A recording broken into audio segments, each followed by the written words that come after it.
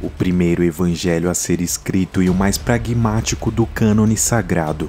Segundo a tradição, o livro de Marcos teria sido um registro baseado nas memórias do apóstolo Pedro e tendo como alvo inicialmente os gentios e os romanos.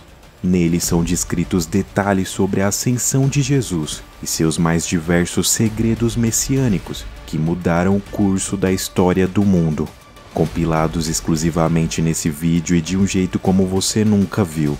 Resumo completo: o Evangelho segundo Marcos vamos bibliografar para você.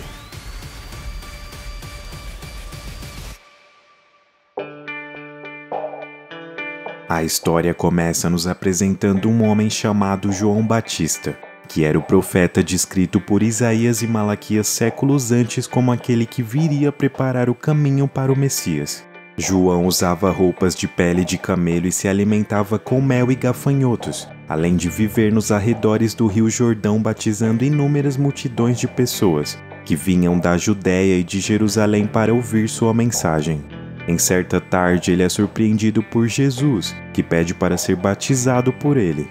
E assim que emerge da água, uma pomba branca aparece nos céus, em representação ao Espírito Santo, e todos que estavam presentes naquele momento escutaram uma voz que dizia: Tu és o meu filho amado.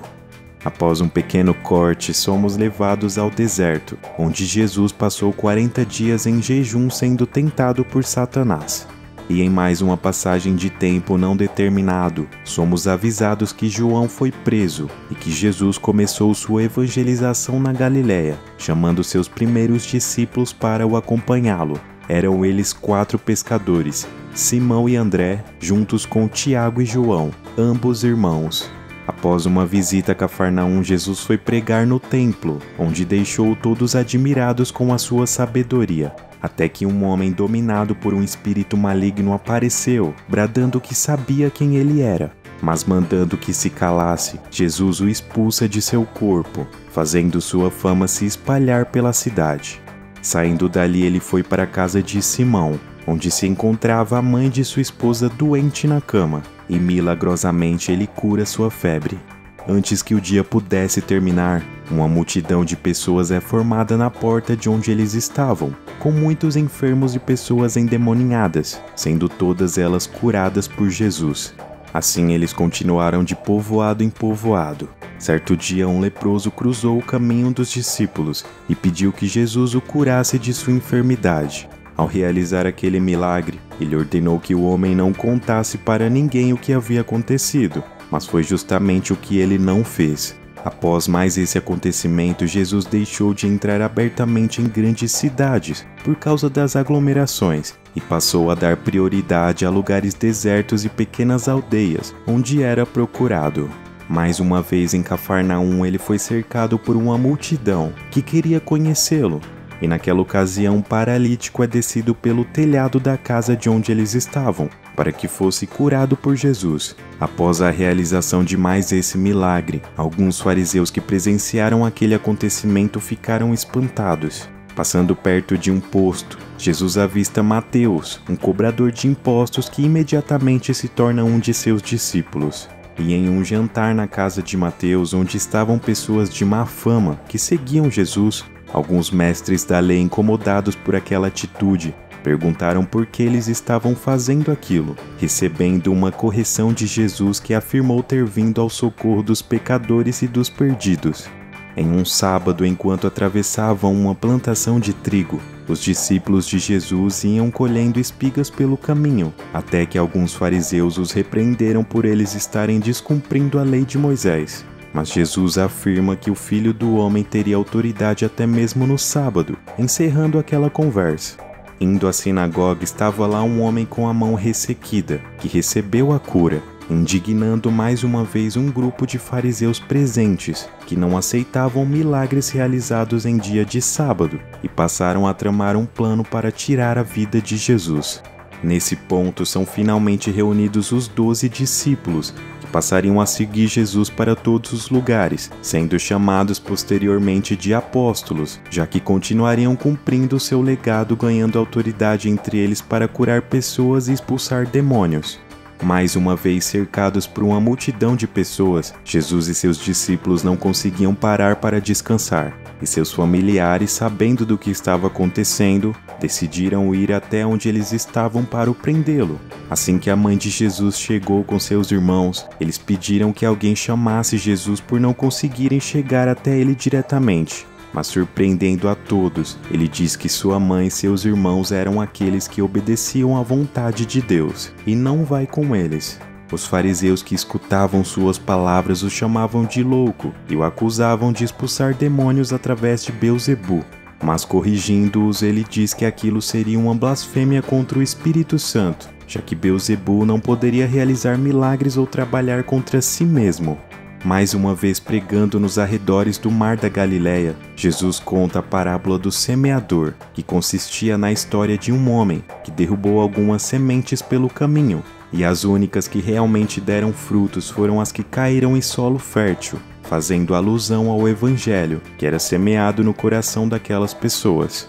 No fim da tarde, eles decidiram partir para o outro lado do lago. Porém, na metade do percurso, um vento forte começou a soprar contra eles, agitando as ondas ao ponto de baterem violentamente no barco, deixando todos os discípulos assustados com a possibilidade de afundarem. Então eles acordaram Jesus que dormia no convés, e ele deu uma ordem ao vento e ao mar para que cessassem, tranquilizando a ventania que assustava os discípulos. Ao desembarcarem a leste do lago, um homem gadareno que morava no cemitério e estava possuído por espíritos malignos foi até eles. Muitos moradores já haviam tentado prendê-lo, mas ele quebrava todas as correntes do qual eram usadas na tentativa de contê-lo. Ajoelhado diante de Jesus, ele diz que seu nome era Legião, e após serem expulsos do corpo do homem gadareno, os espíritos imundos possuíram um rebanho de porcos ao lado do cemitério, que se atiraram no lago e morreram afogados. Muita gente foi ver o que havia acontecido, mas quando souberam da cura do gadareno, pediram com insistência que Jesus fosse embora dali. Ao voltarem para o lado oeste do lago, muitas pessoas que o acompanhavam foram se encontrar com eles na praia entre essas pessoas, um homem chamado Jairo, que era líder da sinagoga, pedia insistentemente para Jesus ir à sua casa curar a sua filha que se encontrava muito doente. No meio do caminho, uma mulher que sofria de um fluxo de sangue há 12 anos tocou nas vestes de Jesus e ficou curada instantaneamente.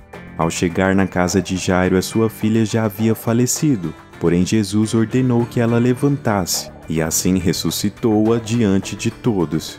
Voltando para a cidade de Nazaré, ele ficou admirado com a falta de fé que havia ali, e não pôde fazer milagres senão curar alguns doentes impondo-lhes as mãos.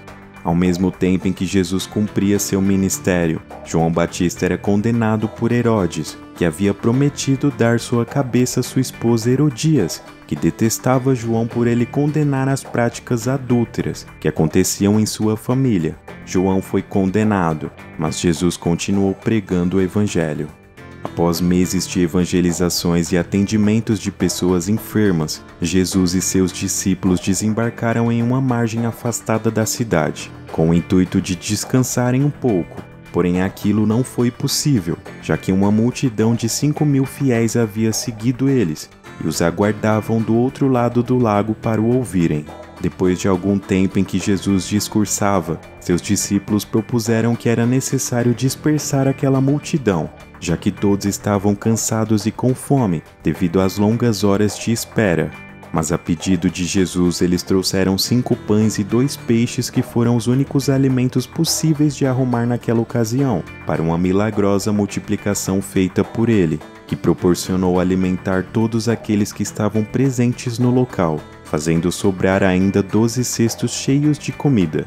Depois desse milagre, Jesus se recolheu para orar sozinho em um monte, mas pediu que seus discípulos esperassem por ele em Betsaida, ao chegarem na metade do percurso, uma tempestade começou a impedi-los de atravessar com o barco, até que avistaram Jesus vindo em sua direção, andando sobre as águas. E após chegar no barco em que eles estavam, a tempestade cessou e todos ficaram apavorados com ele, pensando se tratar de um fantasma. Em outra ocasião, em uma região que ficava perto da cidade de Tiro, Jesus e seus discípulos são parados por uma mulher cananeia que pedia sua ajuda insistentemente como último recurso para curar sua filha que estava sofrendo possessa por um espírito maligno. Ao ver a fé que ela tinha, Jesus cura sua filha, que ficou em casa à sua espera. De volta às margens do mar da Galileia, um homem que era surdo e gago foi levado até Jesus, que impondo-lhe as mãos sobre seus ouvidos fez com que eles se abrissem e a sua língua destravasse, permitindo-o falar sem dificuldades. E quanto mais ele ordenava que não contassem sobre seus milagres para ninguém, mais as pessoas espalhavam suas histórias. Pouco tempo depois, ajuntando-se outra vez uma grande multidão, por volta de quatro mil pessoas que seguiam Jesus há três dias consecutivos. Mais uma vez é realizado o milagre da multiplicação, dessa vez de sete pães e alguns peixes, que alimentou toda a multidão faminta e fez com que sobrassem sete cestos cheios. Ao chegarem no povoado de Betsaida, algumas pessoas trouxeram um cego e pediram a Jesus que tocasse nele. E após passar saliva em seus olhos, o homem voltou a enxergar com clareza. Em uma conversa reveladora com seus discípulos, onde Pedro o reconheceu pela primeira vez como o Messias enviado de Deus, Jesus prevê sua morte e explica-lhes que assim deveria acontecer, pois essa era a vontade do seu Pai mas que ressuscitaria no terceiro dia. Seis dias depois, ele levou para o alto de um monte com ele Pedro, Tiago e João, que presenciaram sua transfiguração. Toda sua roupa passou a brilhar como o sol, seu rosto como a luz, e ao seu lado apareceram Moisés e Elias, encobertos por uma nuvem. Em um piscar de olhos, toda aquela visão desapareceu, restando apenas Jesus na frente deles, que se encontravam apavorados por tudo que tinham visto. Quando eles chegaram perto dos outros discípulos, viram uma grande multidão e todos correram para cumprimentar Jesus. Porém, um jovem endemoniado, possesso por um espírito surdo e mudo, foi levado até eles, já que os próprios discípulos não conseguiram libertá-lo. Jesus repreende os discípulos, dizendo-lhes que lhes faltava fé, e expulsa o demônio do jovem rapaz. Depois disso, um grupo de pessoas levaram algumas crianças para que Jesus as abençoasse. Enquanto eles estavam se preparando mais uma vez para saírem de viagem, um homem veio na direção de Jesus perguntando o que era necessário fazer para conseguir a vida eterna. E ele o responde que era necessário distribuir todos os seus bens entre os necessitados, fazendo o homem ir embora entristecidamente de cabeça baixa, pois ele era muito rico. E Jesus ensina a seus discípulos que era muito mais fácil um camelo passar pelo fundo de uma agulha do que um rico entrar no reino dos céus. Na cidade de Jericó, quando já estavam de saída, um cego chamado Bartimeu começou a gritar o nome de Jesus, incomodando muitas pessoas que o repreendiam e mandavam que se calasse, mas ele gritava ainda mais. Então Jesus o elogiou pela sua fé, e no mesmo instante ele passou a enxergar. Tendo agora como alvo determinante de sua missão e ciente dos acontecimentos que estavam prestes a acontecer, Jesus parte para Jerusalém, onde entra na cidade montado em um jumento, no meio de uma multidão que o saudava com ramos, o glorificando e dizendo-lhe: Hosana bendito que vem em nome do Senhor. Ao chegar no pátio do templo, Jesus expulsou todos os cambistas que compravam e vendiam naquele lugar os chamando de ladrões. Todos os mestres da lei que presenciaram aquele ato ficaram enfurecidos e tramaram um plano perverso para o matarem. Eles mandaram alguns membros do partido falarem com Jesus e tentarem conseguir alguma prova contra ele, perguntando-lhe se era lícito pagar tributos ao imperador romano. E mostrando-lhes uma moeda, Jesus diz que eles deveriam dar a César o que era de César e a Deus o que era de Deus, e muitas outras perguntas foram feitas assim como essa, tentando achar alguma contradição em suas palavras, suficientes para o condenarem, mas todas elas foram respondidas por ele com uma sabedoria que impressionou a todos, ao ponto de ninguém mais ter coragem de o perguntar absolutamente nada. Ao adentrarem o pátio do templo, Jesus sentou perto da caixa de ofertas e começou a olhar com atenção uma pobre viúva que depositou duas moedas no gasofilácio. e disse aos seus discípulos que ela tinha dado mais que a todos, pois havia dado tudo o que tinha, enquanto aqueles que tinham muito davam apenas o que lhes sobrava. Ao saírem do templo, os discípulos estavam admirados com toda a beleza do edifício e ouviram da boca de Jesus que nada daquilo ficaria de pé, senão para ser derrubado. Ao subirem no Monte das Oliveiras, os discípulos tornaram a perguntar o que aquelas palavras queriam dizer. E Jesus lhes dá muitas previsões de fatos que ainda estavam por vir e profecias apocalípticas que ainda estavam para se cumprir entre elas grandes tribulações, falsos profetas e sinais nos céus e na terra, que marcariam a consumação dos séculos, e terminou pedindo apenas que eles ficassem em alerta, pois nem os anjos do céu, nem o filho do homem, nem ninguém saberia dizer quando essas coisas aconteceriam, somente o Pai voltando ao povoado de Betânia e indo à casa de um homem chamado Simão leproso. Jesus é visto por uma mulher que se ajoelha aos seus pés com um frasco de alabastro, que era uma fragrância muito cara. Começa a ungir seus pés, deixando todos perplexos com aquela atitude. Porém, Jesus a elogia e diz que sua história seria lembrada em todos os lugares do mundo em que o Evangelho fosse pregado. Judas Iscariotes, um dos doze discípulos, decidiu procurar os chefes dos sacerdotes e combinar com eles uma maneira de entregar Jesus. Ouvindo aquilo, além de ficarem muito contentes, prometeram-lhe dar dinheiro. Assim, Judas passou a procurar uma boa oportunidade. Na noite de Páscoa daquele ano, Jesus pediu para dois de seus discípulos prepararem a mesa de um jantar. Depois de estarem reunidos, ele afirmou que um dos que estavam ali iria traí-lo, deixando todos muito tristes e se perguntando quem era o traidor entre eles. Enquanto estavam comendo, ele deu graças e partiu o pão. Em seguida passou o cálice de vinho e todos beberam. Pedro afirmou convicto que jamais o abandonaria, mas Jesus o respondeu dizendo que antes do galo cantar duas vezes naquela manhã, três vezes ele o negaria e depois de cantarem canções e louvores, foram para o Monte das Oliveiras. Chegando em um lugar chamado Getsemane, Jesus se retirou para orar mais à frente com Pedro, Tiago e João. Porém, ao voltar, encontrou-os dormindo e os repreendeu por não estarem vigiando igual a ele. Jesus estava extremamente angustiado e tomado de pavor, mas determinado a cumprir a vontade de Deus. Depois da terceira vez que ele voltou e encontrou seus discípulos dormindo, antes que ele pudesse terminar de falar, Judas Iscariotes chegou com um grupo de sacerdotes, escribas e soldados da guarda romana, armados de espadas e porretes para o prendê-lo. Judas o chamou de mestre e beijou-o no rosto, sinalizando que era ele quem os guardas deveriam capturar. Nesse momento, Pedro fere um dos servos do sumo sacerdote, arrancando-lhe uma de suas orelhas, e Jesus o repreende, fazendo-o largar a espada. Assim que o acorrentam-no, todos os discípulos fogem. Um jovem enrolado num lençol seguia-os de longe, fazendo com que os guardas tentassem prendê-lo, mas ele largou o lençol e fugiu desnudo. Jesus foi levado para o sumo sacerdote, e ali foi feito um julgamento onde todos do sinédrio procuravam um motivo para o condenarem. Muitos testemunhavam falsamente ao seu respeito, mas os depoimentos não eram coerentes, e Jesus nada respondia, até que o sumo sacerdote o pergunta se era ele mesmo Cristo. Então Jesus afirma que um dia todos o veriam assentado ao lado direito de Deus e descendo com as nuvens no céu.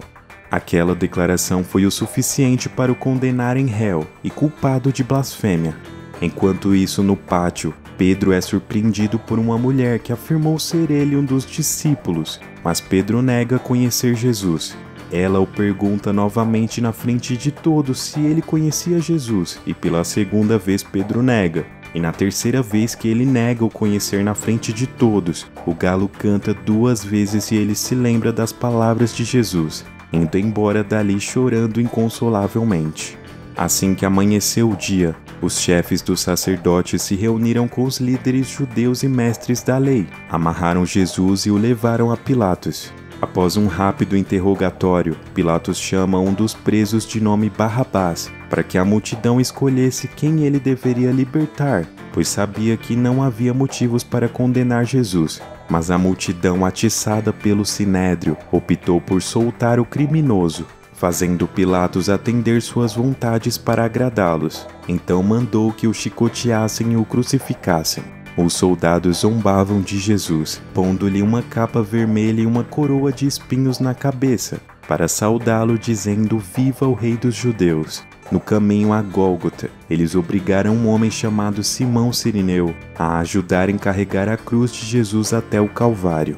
Eram nove horas da manhã quando crucificaram. Puseram-lhe em cima de sua cruz uma tabuleta, escrita em grego, aramaico e latim a epígrafe: Jesus de Nazaré, Rei dos Judeus. Ao lado dele também haviam dois malfeitores.